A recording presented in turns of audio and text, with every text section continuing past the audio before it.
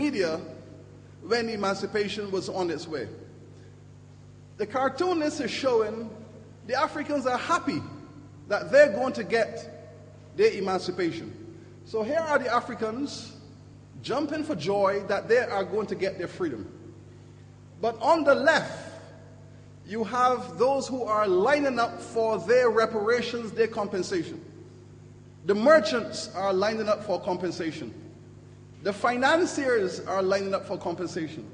The politicians in the House of Commons the House of Lords are lining up for their compensation. And the city judges, the judges in the court, who also own slaves, are lining up. So the judges, the politicians, the brokers, the financiers are all lining up for their compensation. And this cartoon tells us all we need to know because they received their compensation, they received their reparations, the African people's got nothing.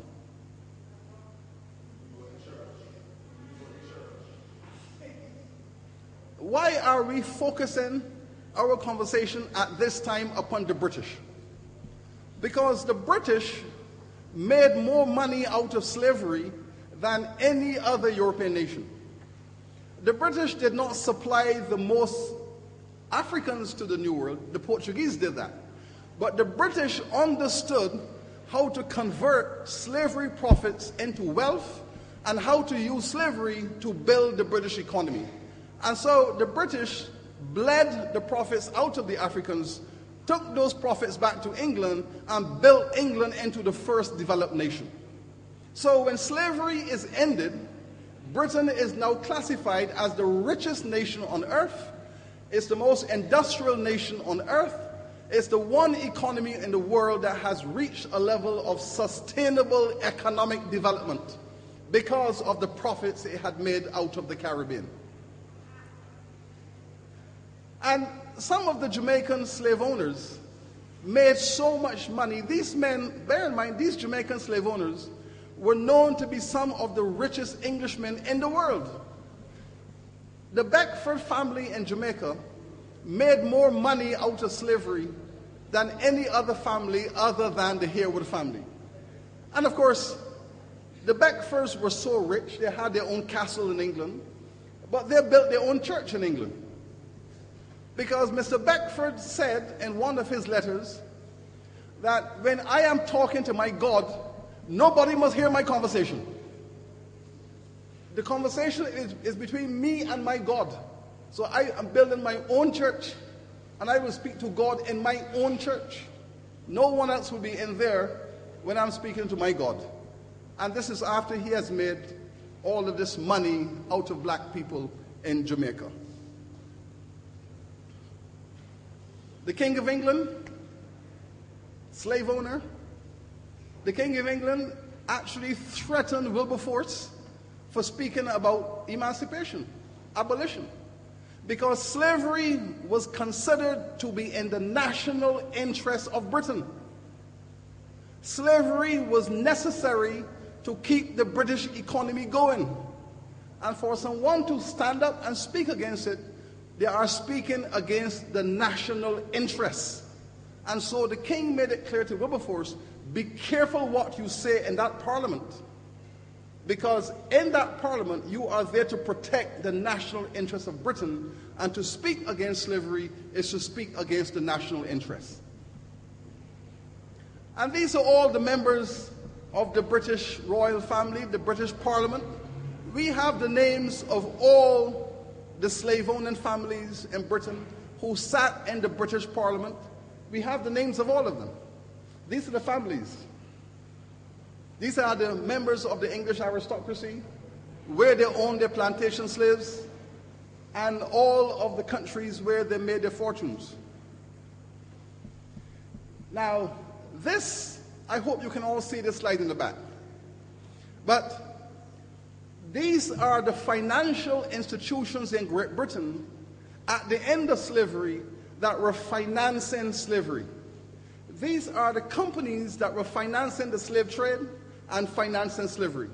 Now, when emancipation comes, these companies would do what you think they would do. They would change their names. They would change their identities. they would rebrand, as we would say today. You rebrand. And you rebrand and enter into a new phase to cover up your past.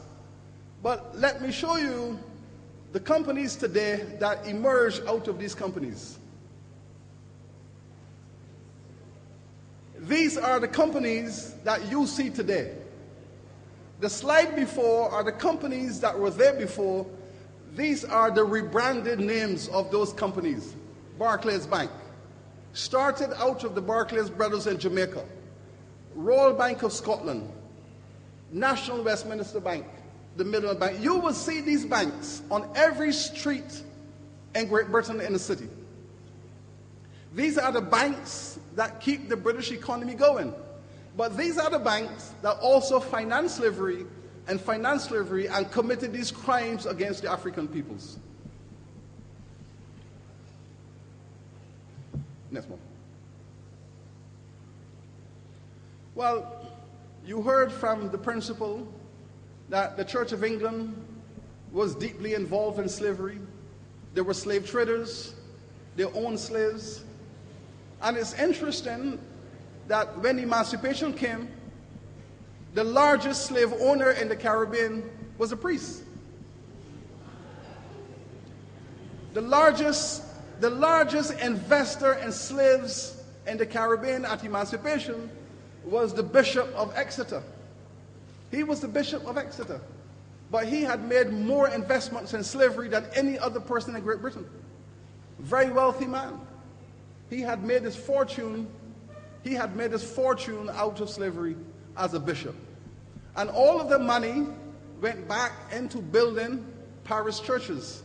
So when you drive around England and you see many of these little parish churches, those churches were built out of the profits that came out of slavery in Jamaica and in Barbados. Well, emancipation comes, and each slave owner is going to be compensated. So you have to prepare an account. So you have to look at your African slaves, enslaved Africans, and you have to put a value on them and go and claim compensation. Go and claim compensation. So you have to get your account book, and if on your plantation you have 400 Africans, you have to put a value on each one. The women are worth this, the men are worth this, the children are worth this, and you calculate the value of each individual, and you say, I want compensation because this is my account of my slaves. So, and we have, we have the accounts of these plantations. So we know, we know the value that was placed on all of the enslaved Africans in the Caribbean. As you can see, Jamaica had more enslaved Africans than any other country. So 13 million was the value that was placed on your ancestors. This was the, the, the financial value that was placed on your enslaved ancestors in Jamaica. They were worth 13.9 million pounds. And that is what the slave owners of Jamaica received from the British government 13.9 million pounds. That is what they received for owning slaves, for owning enslaved persons. And the remarkable thing about this was that the British government sent their accountants down to the Caribbean because they know, they knew that the Jamaican slave owners, the Caribbean slave owners would poke out their eye. They knew they would have their eyes poked out, so they sent down their own accountants to go around to verify that the accounts were accurate. So the British government, their own accountants said, the Jamaican Africans are only worth six million pounds. But the Jamaicans said, no, our Africans are worth 13 million. So therein lies a conversation between the owners of the Africans and those who are going to pay the compensation. Now, the slave owners were in charge of the British Parliament. They were in charge of the British Parliament. And they decided that they will compensate themselves, legislate to compensate themselves because they were the ones who control the parliament. And they voted 20 million pounds as compensation to themselves, reparations for themselves for owning the Africans. And in so doing, almost drove the British government into bankruptcy. Because 20 million pounds, which in today's money, in today's money, that is one, that is about 76, 76 billion pounds in today's money. In today's money, it is 76 billion pounds in today's money. That's what they got for owning Africans. But that 20 million pounds in 1834 represented 40% of the British national expenditure in that year. So they took 40% of the national expenditure and gave it to themselves. Gave it to themselves as compensation. That is worth in today 40% of the British national expenditure today is 200 billion pounds. That is what it would be today in today's money. So the slave owners fix up themselves, and the African people got nothing. They fix it themselves.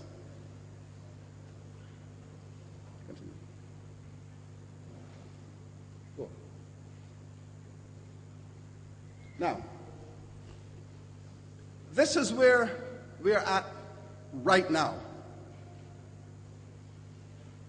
The CARICOM governments have established a reparations commission.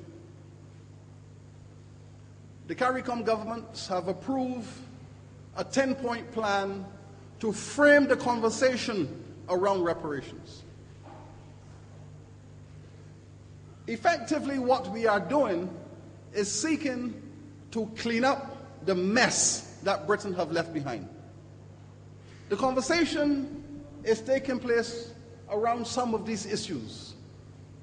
Let me give you an example of a matter that you must address.